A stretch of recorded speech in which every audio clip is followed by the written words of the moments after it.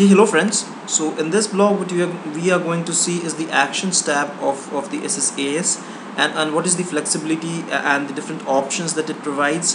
So when we have a data and we have a cube ready the measure and, and we try to mine uh, or perform analytics uh, on the various measures and dimensions uh, there are a few actions that we would like to uh, uh, take. I mean uh, say for example we would like to search the internet for for a particular uh, value of, of a dimension or we would or we, we would like to see some uh, intricate details about the data which is being mined.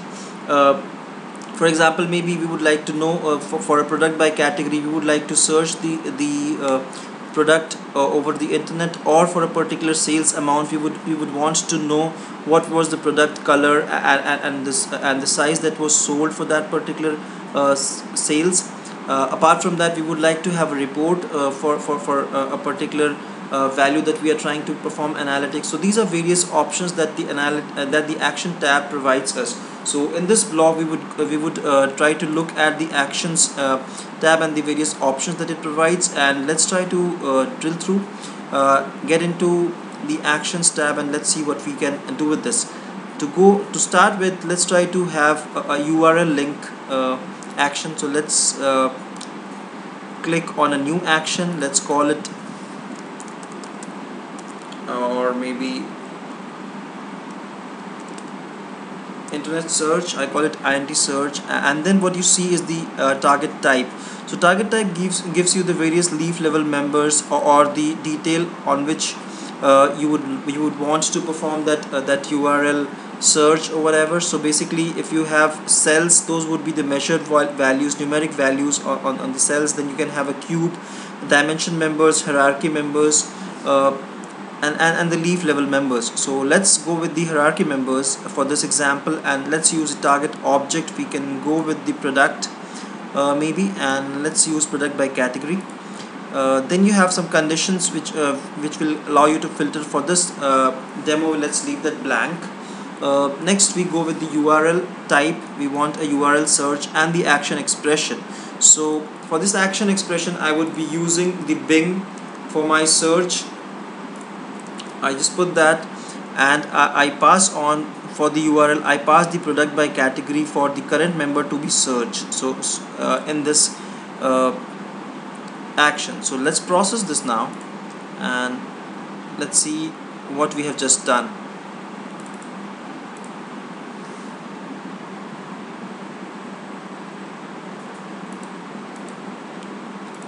I clear the results reconnect my browser and let's go with maybe internet sales. Yeah internet sales sales amount and maybe product by category.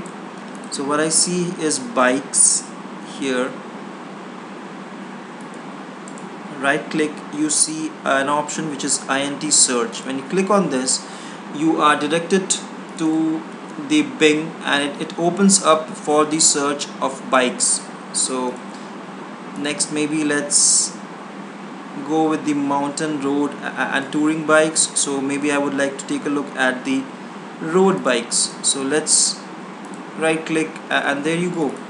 What you see here is uh, the search results for, for, for your road bikes. So that's is that is what we have just configured in the action and we have redirected to the URL uh, and the search so that that was one example. Now let's take a look at the drill through option and what does that provide. Uh, so let's use the second option which is a new drill through action. So it, it gives you uh, a name drill through action. Here you give the measure groups on, which you would want to drill through. So the measure groups on which we would uh, want to do that maybe reseller sales fine. Uh, and maybe we would like to know the product and its product color size. So as uh, unlike the name drill through it's it's not actually uh, going to touch your RDBMS database. As such it is going to uh, do or, or, portray the values which are already there in the cube. So so uh, don't be misled by the uh, the name. It's not going to hit your RDBMS during the drill through action. So yeah. So that's uh, the drill through action we have configured that and, let's say let's process this again.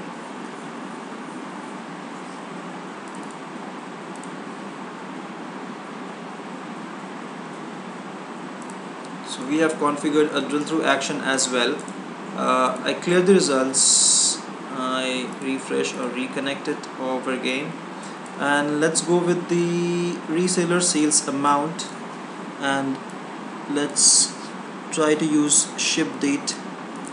So we have uh, the ship date and let's okay for for calendar semester 2 we have this amount. We want to know the product uh, that was sold. So you right click and you see a drill through action. When you click on this what you get is the products the color and the type of the product which was sold. So when, when you look at these the, the size the product color and the product name that was sold. So you, you get that. So this is simply going to drill through and, and give you uh, a detailed level level uh, of uh, view for for the data which is which is there uh, on the aggregated cell value. So this was a brief example of, of the different type of actions that that we can have uh, and, and, and our SSAS provides us.